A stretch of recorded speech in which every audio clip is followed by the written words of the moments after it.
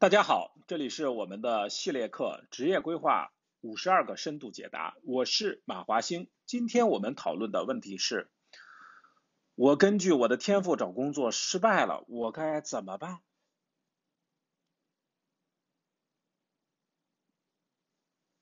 来自我介绍，本人马华兴，从事职业生涯规划咨询与培训十年啊，这里有我的微信号和公众号。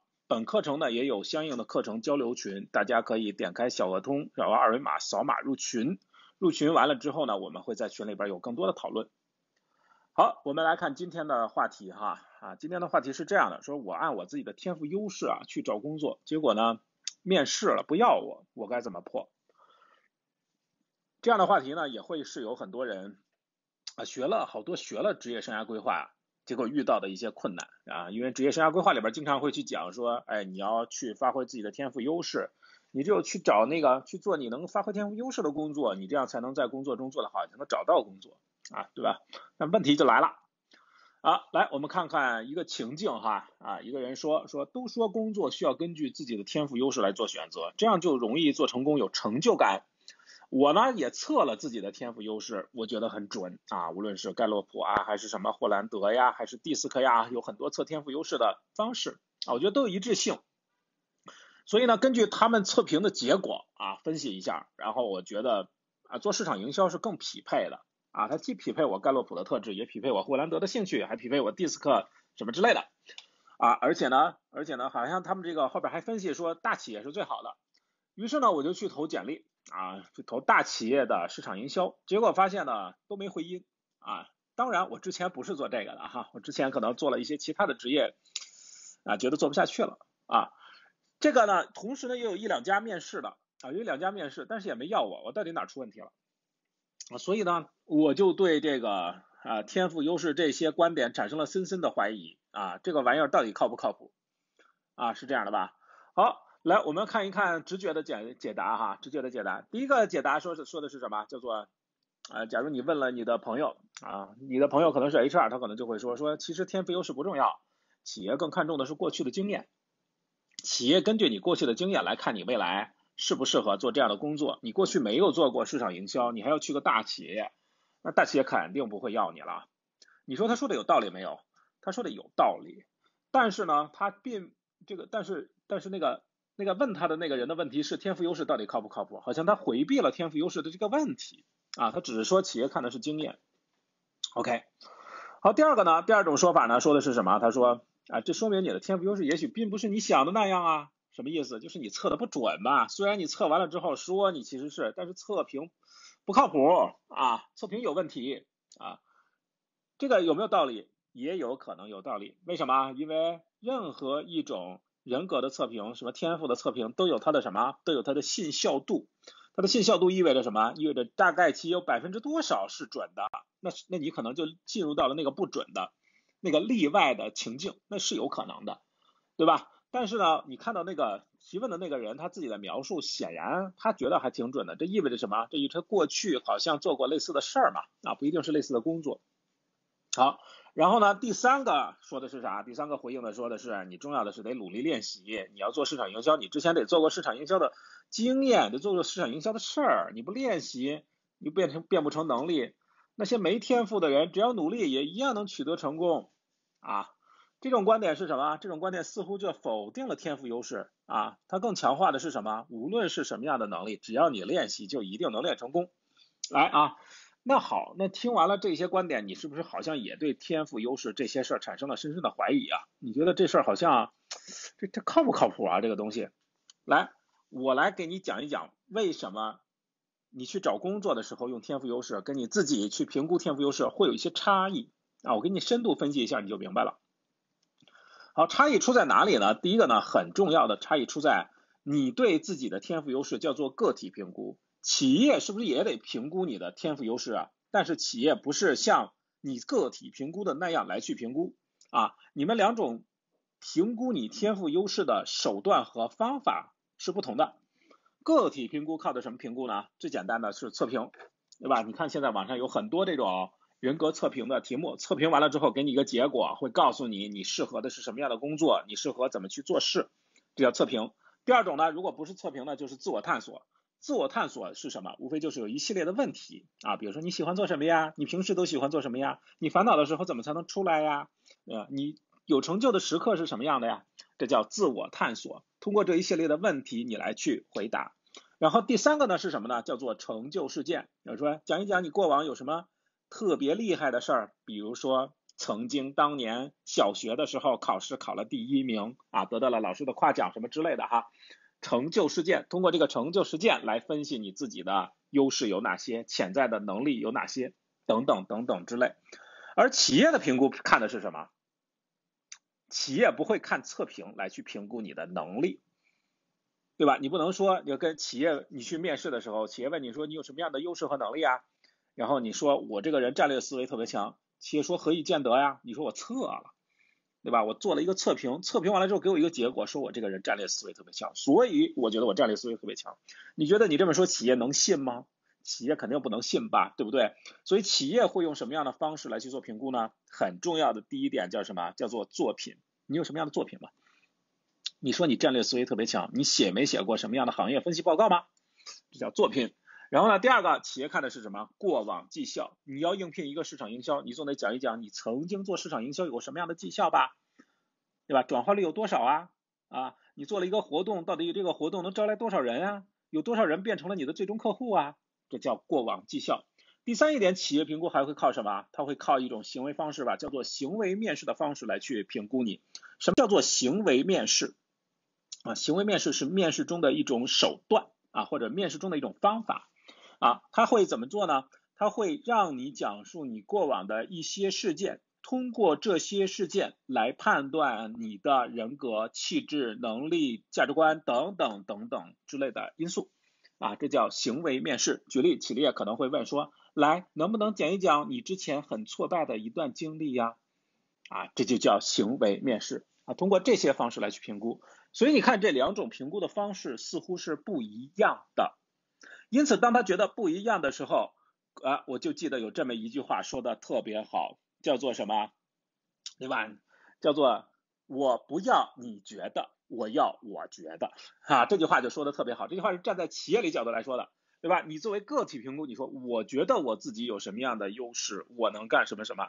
企业说住嘴，我不要你觉得，我要我觉得，OK。因此，那么我们看一看企业为什么会这么评估，就是这两个评估为什么会不一样啊？我们深度分析一下。好，为什么不一样呢？我们就从这个角度来去分析，就是一个人的天赋优势到底是如何发展的啊？来，首先第一点啊，我们看一看从个人的角度来说，他是如何发展的。第一点什么？第一点，他先他先发现了自己的天赋优势吧。啊，甭管是他用什么样的方式去发现的，测评、感觉、问自己问题、发现，发现完了之后，是不是他花了很多的时间来去投入到自己的天赋优势当中去啊？他做了学习，做了一些项目，OK。当他投入了大量的时间，于是这些天赋优势就转变成了什么？转变成了他的能力，对不对？他的能力经过了交付的这样一个过程，也就是说做出了一个结果，产生了一个结果。对吧？这就是天赋优势如何一步一步转化成能力，能力如何一步一步转化成结果的这样的一个过程。好，我们举个例子，比如说一个人发现了自己的天赋有影响的天赋，他他总能够影响身边的很多人啊，就是他跟身边的很多人一说啊，那些人就特信他，呃，影响的天赋。于是呢，他觉得说，哎，这个东西用在做销售这个职业特别管用。于是他干啥了呢？他投入了，他把这个影响的天赋用在各种各样的销售情景下，比如说他做微商了，卖东西了，比如说对吧？比如说他开了个店，比如说他这个销售了自己啊，学会销售自己，他在跟任何人的沟通的时候，都在去销售自己的一些产品什么之类的，投入了，于是上边形成了一个什么能力啊？他就有一定的销售能力。好，销售能力交付出来的是什么？交付出来他成交了很多单。是这样的吧？好，交付了成交的很多单啊，于是我们就可以证明说，哎，你看他为什么能成交很多单，是因为他有销售能力。他为什么销售能力这么强，是因为他有影响的天赋。我这么去看，是不是就能看出来这是一个天赋优势的发展路线啦？好，好，那问题出在哪里？问题出在哪里？第一点，我对自我是怎么看的？自我是从下往上看的，或者叫由内而外看的，对不对？对吧？我们自我的评估是这样去做的：先看自己的天赋优势，想挖掘一下自己，要深挖自己，然后我根据这个天赋形成自己的能力，根据这个能力创造出结果。自我是从内而外看的，而企业是怎么看的呢？企业是反着看的。企业是先看什么？先看你有什么样的结果，根据你的结果去猜你有什么样的能力，再根据你的能力去猜你有什么样的天赋优势，是这个过程吧？所以我们举个例子，对吧？自我看待自己影响这个天赋，他是怎么看的？先通过测评和通过对过往自己事件的体会探索，发现自己有影响这个天赋。然后根据影响这个天赋，经过大量的练习，形成了什么销售能力？根据销售能力实现了成交，啊，于是形成了天赋的优势。而企业怎么看呢？企业要招一个销售怎么看的？先看你之前成交了多少单，是这样的吧？啊，然后来你说我成交了很多单，在过去一个月的时候，我就卖了二十万块钱的东西，或者我卖了二十万块钱的服务。于是企业判断说，哦，你有销售能力。好，那当企业又好奇一点，说，那你为什么能有销售能力呢？于是你讲你是怎么去销售一个客户的一个过程。好，企业发现，哦，你是那种很有影响力的销售，能理解了吧？啊，于是企业是从外往内看的这样的一个人的能力。他只要觉得你外有成交有能力，他是不是就能招你了？而你由内往外看出现的问题是什么？出现的问题是，当你的自己的天赋没有变成能力，没有产生结果的时候，企业看不到你的结果，他自然就不会认可你的能力，也更不会认可你的天赋优势。这点我讲清楚了吧？所以自我的视角跟企业的视角是完全相反的视角。自我往往是从内而外去看待自己的能力的，而企业是从外由内而看待自己的能力的。任何一个职业，只要站到企业的角度，几乎全部都是。无论这个职业是你自己投简历投的，还是你是什么关系户走后门，自己的老爹一样都是这样的。我在这里举个例子，有这么个段子，我不知道你们听说过没有？就是有一个人啊，呃，去看他的朋友，结果呢，他朋友正好是企业里边的老板，一个企业的小老板。看的时候看企业正好招人呢，他小老板他自然也做面试啊。招人了结果，这个人呢是个大学生啊，然后呢，他这个朋友就跟他说呀，说你看啊，现在招的人这是个大学毕业生，但是呢，我这个现在是说什么我也得招他，为什么呢？关系户，这是我大客户的儿子，我不招他不行，啊，人家把这个交给了我，但是他说我怎么才能招他呢？我总得走个过程吧。于是怎么办？想个办法，他给这个大学生说，拿了一魔方打乱了，然后说这样吧，你呢？我给你面试出道题，你把这个魔方给我复原成六面。然后呢，这个大学生看了一下，没玩过这事儿，对吧？没弄过这事儿，那拧了半天，最后也拧不过来。然后呢，这个他说，那要不然这样吧，两天以后你给我一个六面的魔方复原了，OK，我再来看我安排你做什么岗位，就把这个这个面试者给打发了。打发完了之后，俩人就聊天说，哟，你觉得他能不能把这魔方给你还过来？他说呀，甭管他怎么弄过来，怎么过来，他只要。第三天能来，我就有办法给他安排岗位啊？为什么呢？比如说，如果他真的把这个六面的魔方给翻好了，这说明什么？这说明他琢磨了，他自己一个人翻好了，说明他琢磨了，琢磨了，哎，比较爱琢磨，他可以去哪个岗位？他可以去研发部门啊，研发部门。好，那还有一种情况呢，他也弄过来了，但是呢，他不是翻过来的，他是什么？他把魔方给拆开了。拆开完了之后再对好了安上去，这样也可以，这样也可以，这说明什么？敢做敢为，可以去市场部门。还有没有其他的其他的方法？还有吧？还有比如说他拿个漆，对吧？把这六面给刷出来啊，刷出来，说明什么？很有创意吧？哎，很有想法啊，很有创意。设计部门需要他啊。还有还有什么？还有比如说比如说比如说他拿他的魔方拿来了。请教了别人，你看他就复原了。他说我请教了别别人，我请教了一个老师，老师帮我给复原的。好，这说明什么？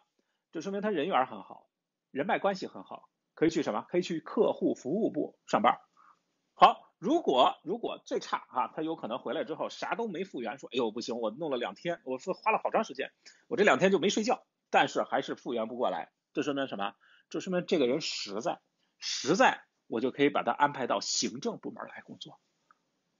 啊，反正呢，这个只要他来，我就能给他岗位。结果第二天，哎，说这一块吃饭，说哎，这个孩子终于来了，说怎么着了？他确实拿了个魔方啊，这个还挺厉害的，六面都复原了。然后我问他，我说你是咋复原的呀？他说实话了，他说我这个其实自己想了半天，我也想不出来怎么复原的。于是呢，我就新买了一个魔方，还比你之前给我那个更大。啊，所以呢，你看我来了，你能给我安排什么样的岗位？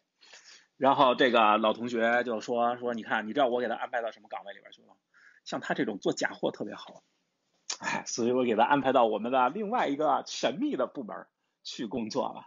OK，好，当然这是个段子，但是从这个段子我们能够能够看到什么样的东西呢？我们能看到，无论是什么样的人，只要你站在企业的角度来去招这个人。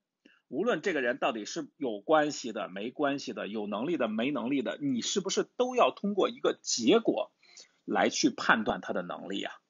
你不可能他说什么就是什么，你总得给他一个小的任务，根据他的结果来判断他的能力，来判断他的天赋吧。这就是企业的思维。因此，当你有了企业的这种思维的时候，你是不是以后再去说这这个这个自我探索的时候，你是不是就不能老自由内而外的去探索了？你是不是可以按照组织或者企业它来去发现你的那个路径来去探索自己啊？因此，你是不是也可以转换方式，叫做按企业的方式来评估自己啊？叫由外而内的由外而内的评估吧。因此，你在评估的时候，你会怎么评估？